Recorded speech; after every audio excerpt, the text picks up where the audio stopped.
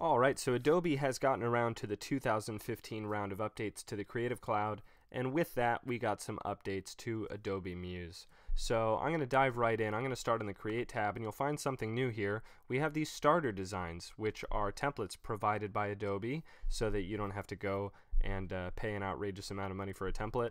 There will be templates coming soon to museresources.com, so keep an eye out for that. But in the meantime, you've got five free templates built right into Muse. So I'm just going to open up this Lulu template just so we have something to look at. And uh, on this page, they they include. Uh, sort of a homepage design, uh, and there's another page, an extra page called Extras, which has some icons and fun stuff on there. Uh, so that's pretty neat. They gave you some extra stuff that's not found um, on the homepage template, which is nice. You can copy and paste that stuff where you want it.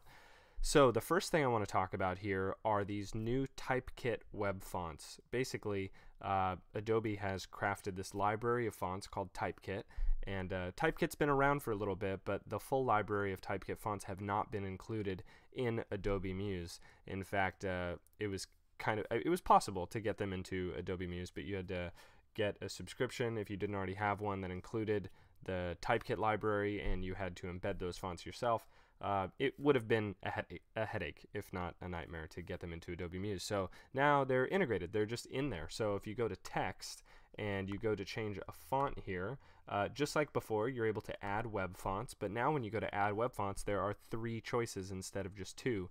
We still have the self-hosted web fonts for things like the uh, Icon Megapack web font or other fonts that you download. Uh, they require special font files, so you can't just pop any old font in there.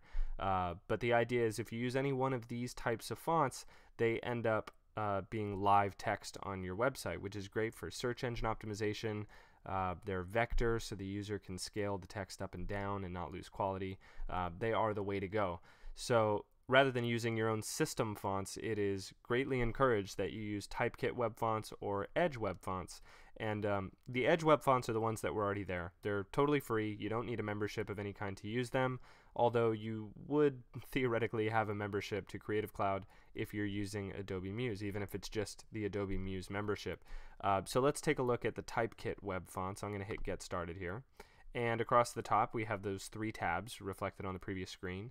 And uh, under Typekit, we have 1,061 font families. Now, that's not including the bold, italic, and underline versions, etc. You can see here that this active grotesque standard font, uh, there are 14 versions of that font. Those aren't being totaled here.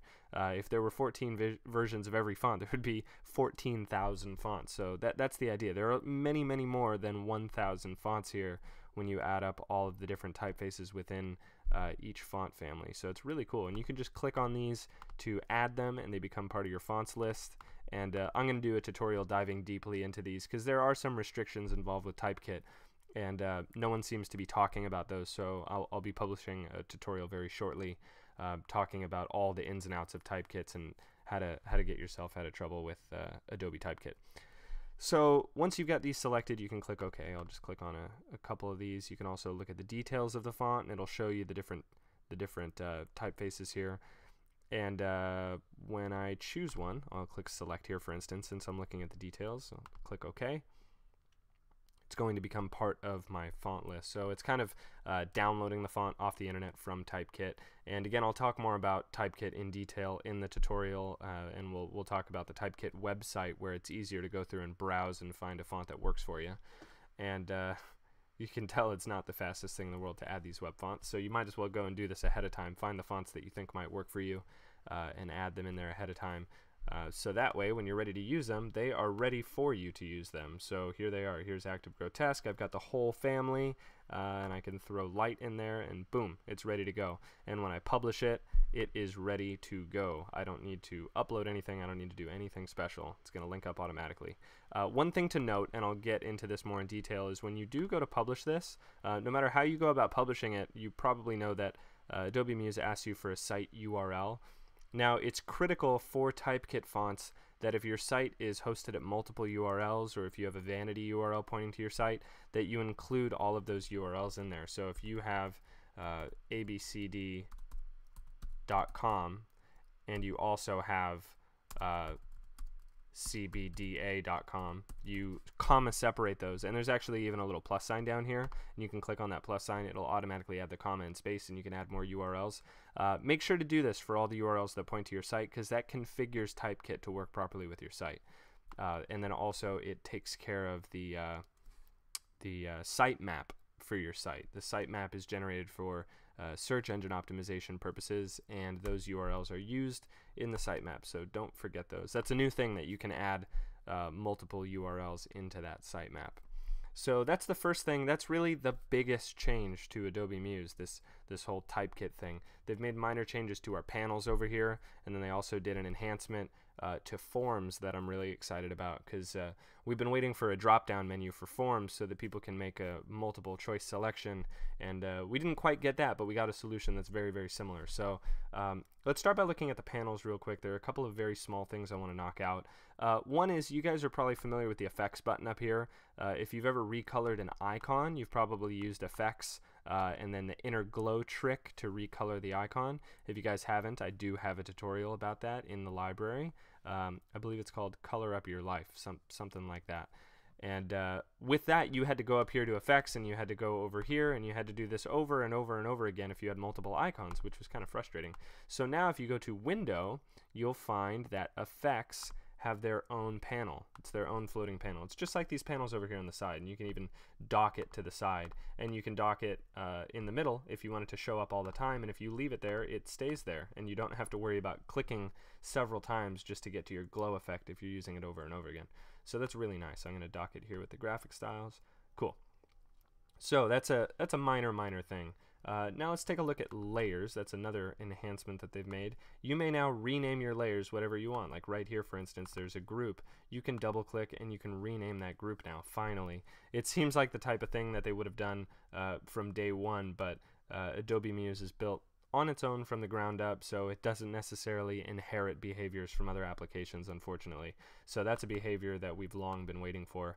Also, if you place a PSD file now, the PSD layer names will come over. You can rename layers. You can do whatever you got to do.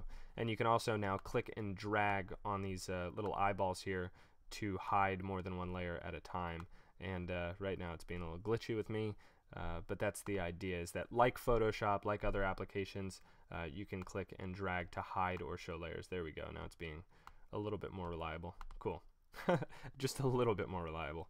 So that's another neat little enhancement that they made to the layers panel. Really nice. Um, the other thing you can do now is you can option click to expand or collapse um, all of the little disclosure triangles, which is nice. That's another behavior from Photoshop. Uh, you'll see if I open this up right now and scroll down, see how form is collapsed. If I keep going down, um, I think there are a couple more things in here. Well, there's group and there's form, and those are collapsed. So this time I'm going to hold the option key or the alt key if you're on a PC, and I'm going to open it up at the same time. And you can see group is now expanded.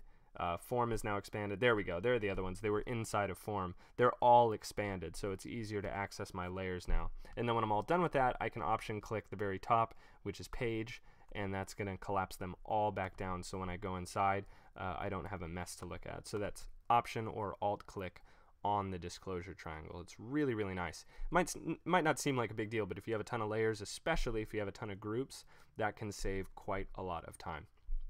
Cool. So now let's talk about the new features that we have inside of Forms.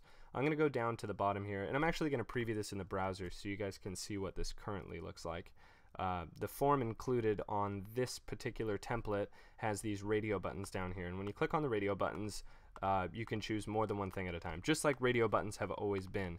Each radio button is its own independent thing. Uh, so now we can create these things called radio groups. So this actually is a radio button group, but it's not working the way uh, I want to demonstrate. It's not working in the way that's advantageous. So I'm actually going to go and delete this radio button group. Uh, I'm also going to delete that because it's a little bit confusing, and I'll delete that because it's a little bit confusing. So now this is my form here, and the form goes out into this white area. And uh, I'm actually going to delete that white area, so it makes a little more sense. So here's the form, so it's easier to look at. Uh, I'm going to go to my little arrow here pointing out the side, and I'm going to choose not a checkbox group, because uh, a checkbox group just works like a group of regular old checkboxes. I'm going to do a radio button group.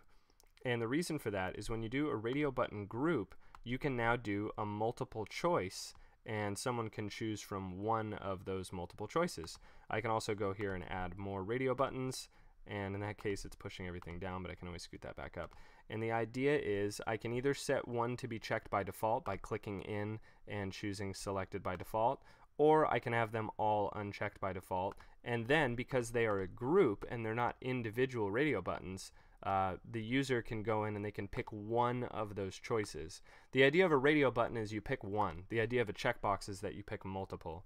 That's why it was a little confusing in the past when you could have a radio button and you could have multiple selected, uh, and you can actually still do that. But by default, if you do a radio button group and we preview it in the browser, it is multiple choice. It is pick one. If I click this and then click this and then click this, check that out so we can switch in between items. So if you want to set up a contact form where a client has to tell you what sort of work they're looking for, they can now make a singular choice. It's kind of like a drop-down menu. That's what we've been hoping for for a long time. We've been hoping for a drop-down menu so that users can make a choice in your form and now they can. So that's really cool. I'm excited about that feature big time. And the last thing, it's not a big thing at all. It's when you have a Lightbox photo gallery uh, which I think this template may actually include a photo gallery in here somewhere. Nope, it doesn't. So let's go ahead and add a photo gallery. I'm actually going to go and make a blank page. And let's actually apply this master to it. And then we'll go in here, we'll go to our library, widgets library here, and we'll drop in a regular slideshow. Let's do uh, a regular lightbox display slideshow. Here we go. So now that we've got our Lightbox display slideshow in there, uh, whether or not we're focusing on the thumbnails, if we preview this in the browser, uh, we've got thumbnails, we can click on a thumbnail and it lightboxes to show us the contents of that slideshow, right? So the usual, it's nothing, that's nothing new. The new thing is, if we go into the settings for this lightbox, uh, there is now an option called Auto Lightbox. So if the primary purpose of this page is to serve as a gallery, uh, but there's also other information when you close the lightbox, now when you preview it in the browser, when you link anyone to this page, it automatically opens up the lightbox. Kind of a neat feature. It's not something I've ever wanted. Maybe you guys wanted this feature. Uh, it seems like Adobe responds to what people say that they want, so I assume there are people out there that wanted this feature, but um, really, it's just the regular old Lightbox. It just happens to open itself up when the page loads. So that's pretty cool. So keep your eyes open. I've got another tutorial coming soon on uh, detail about these typekit web fonts because there's some detail uh, that most of you may be missing, especially if you're just reading uh, what people are chatting about on the internet. There's a little bit more to it. All right, guys, stay tuned.